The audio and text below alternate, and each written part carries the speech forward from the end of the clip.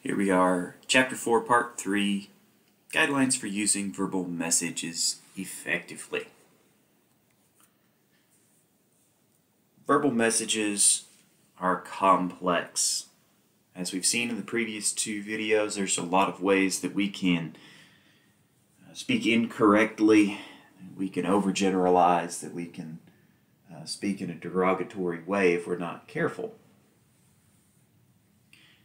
Verbal messages should be highly effective because we can be so precise with them. They should be used effectively through using accurate reflections of the world around us.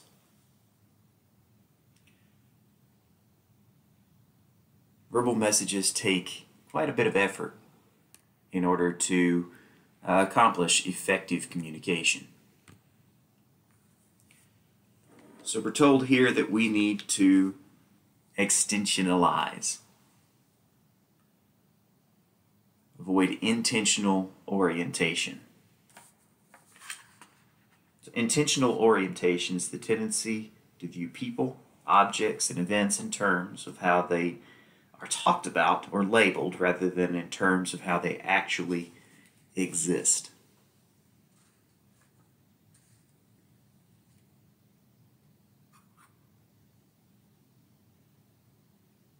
Extensionalizing, to use that orientation, is the opposite of intentionalizing.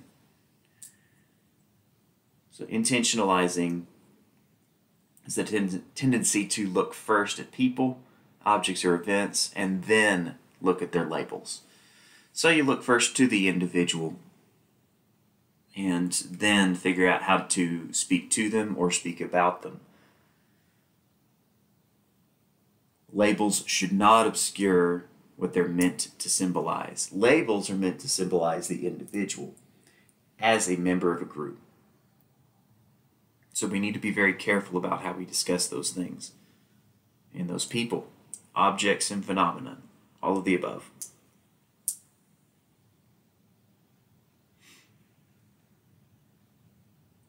So the next thing is we should avoid what's called allness allness essentially means that uh, we fail to recognize that the world is infinitely complex. Thinking we know everything there is to know about something or someone based on a limited amount of interaction with that person. So it's not possible that we know everyone's motivations or that we know everything about their personality for instance, I've known my wife for near 15 years, and we don't know everything about each other yet. There's still interesting things, experiences uh, from, from childhood or whatever that come up every now and then when we're retelling a story to another friend, and either I look at my wife and say, I never heard you say that before, or she looks at me and says the same thing. And so there's always something that we, we don't know about someone else. And it can be positive, as these childhood experiences have been, neat things to learn about your mate. And uh, then there are deeper, darker secrets, things that uh, people don't share with each other, whether from childhood or, or veterans who return home from war.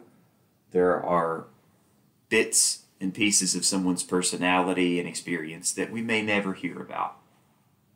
You don't know it all.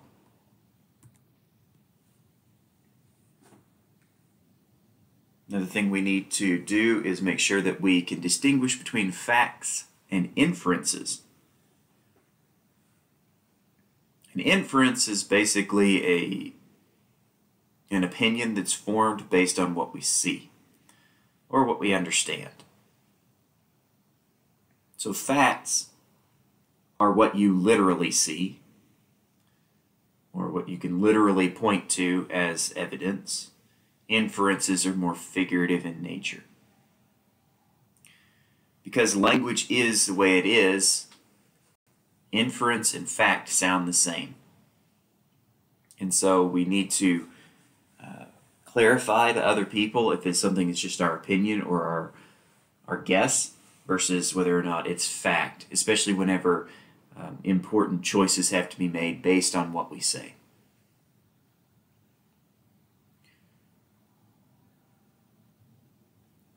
This next part is somewhat ironic, I suppose, in a society that has hate or trained us to hate the word discriminate.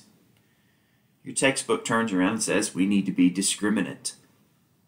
We need to discriminate among people and avoid indiscrimination. This seems completely opposite of what we've been told most of our lives. But everything is unique. We need to discriminate between people, that they are not just a member of a group, but they are also an individual. And so we cannot lump them into a group. Discriminating between people and not between groups. Everything and everyone is unique. And this idea of indexes is just a, a, mental note that you can do for yourself. They explain it more fully in the text, but a mental framework that you can set up for yourself to help you remember to distinguish between members of a group of people.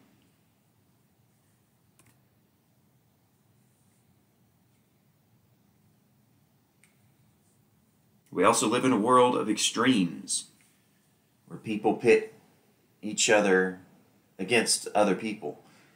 So you're either for us or you're against us. You're either right or you're wrong. And a lot of times, whatever issue we're discussing, there is no distinctive right or wrong. There's opinion. And there's some fact, but there's a lot of inference. And so to polarize it will simply cause bitterness and cause argument. You can look around and you can see that in whatever media you consume today. You will see people talking in polarized terms. So, if we want to communicate effectively, we need to avoid those polarized terms. We need to state uh, the middle ground, try to include all possibilities. You want to avoid what's called an either or fallacy, where you say you're either for us or you're against us. You're either right or you're wrong. Of course, there are some situations where there are only two options, but those situations are more rare than you might think. And then finally, update messages. Avoid static evaluation.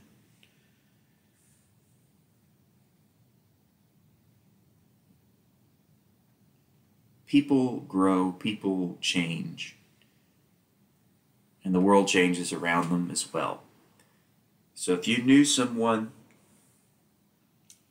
five years ago, and then you meet up with them again today, they're not the same person they were five years ago.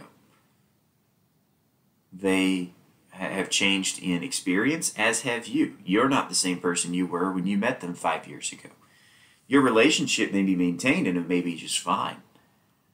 Or there could be such drastic differences now in your interests that you find that you have very little to talk about. That's just one example of how uh, static evaluation might come to bear in relationships and the like.